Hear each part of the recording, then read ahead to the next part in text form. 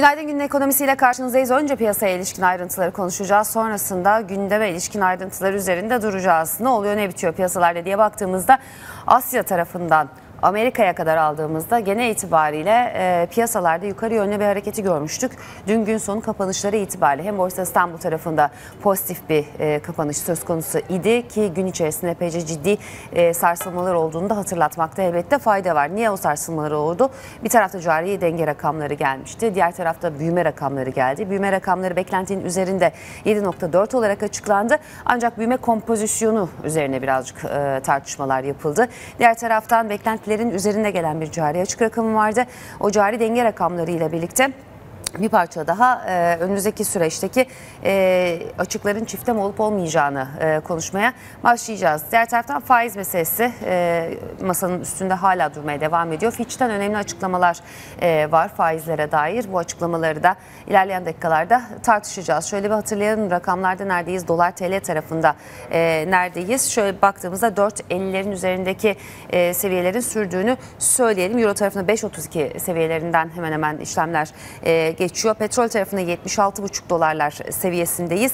E, Borsa İstanbul tarafına baktığımızda 96.661 kapanış değerimizi oluşturdu. Altın tarafında da 1298 dolardayız. Ons başına geldiğimiz noktada. Bugün neleri takip edeceğiz? Yurt içerisinde özellikle TANAP projesini e, takip edeceğiz. Eskişehir'de açılış töreni yapılacak. Cumhurbaşkanı Erdoğan'la birlikte e, iki Cumhurbaşkanı daha e, katılıyor. E, hem Azerbaycan hem Gürcistan Cumhurbaşkanları da bugün e, TANAP dolayısıyla Türkiye'de olacaklar, Eskişehir'de olacaklar. Diğer taraftan da bütün dünya gibi elbette biz de e, Trump ve e, Kim arasındaki e, görüşmeleri takip ediyoruz. Magazinel boyutları olduğunu e, ifade etmekte e, fayda var bir taraftan. Diğer taraftan elbette orada ağızlardan çıkacak her sözcük ayrı bir önem taşıyor. Az önce e, canlı yayında da sizlere e, gösterdik o e, atılan imzaları.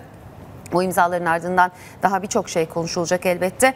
E, Trump mesela çok şey beklememiz gerektiğini e, söyledi bu görüşmenin ardından. O çok şey Trump'ın ağzından çıktığı zaman gerçekten e, sözcük olarak da yerini buluyor. Çok anlamı e, geliyor. E, tweetler üzerinden epeyce e, ciddi bir e, tartışma, polemik yaşanmıştı Trump ve Kim arasında. Bir taraftan görüşecekler, görüşmeyecekler e, tartışması yapılırken birdenbire Beyaz Saray'a da davet edebilirim e, bir cümle çıktı Trump'ın ağzından. Santono'da buluştular e, Singapur'da.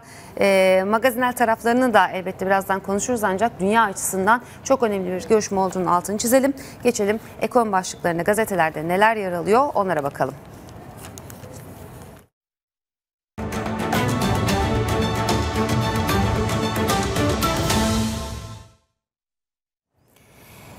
Evet ekon başlıklarında neler var neler yok şöyle birlikte onlara bir göz atalım. Gücümüze güç katacak nedir o? TANAP'tan bahsediyoruz elbette. Dev projede e, Türkiye stratejik noktada başlığı ile birlikte görüyoruz. Milliyet gazetesinin ekonomi sayfasında bu haberi. E, Türkiye bugün açılacak TANAP'la Doğu ile Batı arasında Azerbaycan'la birlikte enerji köprüsü e, kurarak enerjide yeniden doğuşa imza atacak. Proje e, hisse sahibi Türkiye'nin gücüne güç katacak başlıkları kullanılmış. 1.2 trilyon metreküplük büyük bir rezervden bahsediliyor. Ona ilişkin ayrıntılar paylaşılıyor. Eskişehir'in çıkış noktası olduğunu hatırlatalım. TANAP Türkiye Gürcistan sınırından Ardahan ili Posof e, ilçesi e, Türk Gözü köyünden başlayarak Ardahan, Kars, Erzurum, Erzincan, Bayburt, Gümüşhane, Giresun, Sivas, Yozgat, Kırşehir, Kırıkkale, Ankara, Eskişehir, Bilecik, Kütahya, Bursa, Balıkesir, Çanakkale, Tekirdağ ve Edirne olmak üzere 20 il ve 67 ilçeden geçecek ve Yunanistan sınırında Edirne'nin İpsala ilçesinde son bulacak e, bu projenin tamamı. Enerjinin İpek yolu olarak aslında adlandırılıyor bu proje. Bunun da altını çizmekte e, fayda var. E, kapasitenin artırılacağını da belirtelim. Yine Milliyet Gazetesi'nin içerisinde TANAP'la ilgili e, grafik halinde de birçok şey paylaşılmış durumda. E, Türkiye haritasının üzerinde görmek mümkün Edirne'den Ardahan'a kadar uzanan önemli bir e, hat olacak bu. E, diğer taraftan e, geçeceği iller yine sıralanmış. TANAP'ın açılışını liderler yapacak başlığı da paylaşılan başlıkların içerisinde Gürcistan ve Azerbaycan Cumhurbaşkanları ile birlikte e, Erdoğan da açılışta hazır bulunacak. 2018'in ilk çeyreğinde Türkiye ekonomisi %7.4 büyüdü başlığıyla birlikte görüyoruz. Ee, Habertürk gazetesinin ekonomi sayfasına. 2008'in ilk çeyreğinde Türkiye ekonomisi %7.4 oranında büyüdü. Güçlü bir büyüme olarak vermiş bunu e, gazete. Türkiye ekonomisi 2018'in ilk çeyreğinde %7.4 büyüyerek Hindistan'ın yakaladığı %7.7'lik büyümenin ardından dünyanın en hızlı büyüyen ikinci ekonomisi oldu. İlk çeyrekte bu hızlı büyüme vatandaşın tüketiminden kaynaklandı. Yani iç e, tüketimde büyümüş görünüyoruz. İkinci çeyrekte ekonomistler sert bir yavaşlama bekliyor ancak bunun altını çizmekte de elbette e, fayda var. Yatırımlar ne kadar değişti? Yüzdesel olarak yatırımların e, değişim oranları verilmiş. İnsa, inşaatta %12.3, e, üretilmiş mali olmayan aktifler 9.7, makine teçhizat e, 7 düzeyinde ve diğer aktiflerde de %1.2'lik bir değişim olduğunu söylemek mümkün. Vatandaş birinci çeyrekte nerelere peki para harcadı? Vatandaş harcadı ve iç tüketimle büyüdük ama acaba nedir buradaki ayrıntı? Dayanıklı mallara e, %20.3'lük bir değişimle harcama yapmışız e, birinci çeyrekte. Yarı dayanıklı mallara baktığımızda %22.5'luk bir e, değişim oranı olduğunu söylemek mümkün. Dayanıksız mallar %26.4, hizmetler e, tarafında da %20.8'lik bir değişim görünüyor. Yıllara göre kişi başı milli gelir verilmiş, dolar bazında verilmiş bu. Orada da 2002'den 2018'e kadar ki tabloyu bulabilirsiniz diyelim. Büyümeye e, kim ne kadar katkı verdi e, tarafına baktığımızda e, üretim tarafında tarım sanayi e, ve imalat sanayi e, ilk üçü oluşturmuş görünüyor. E, harcama tarafına baktığımızda ise önce vatandaşın tüketimini görüyoruz. Büyümeye katkıda devletin tüketimi ikinci sırada yer alıyor. Kamu harcamalarından bahsediyoruz. Toplam yatırımlar tarafında da e, 9.7'lik bir artış olduğunu söylemek de mümkün. Geçelim bir başka gazeteye.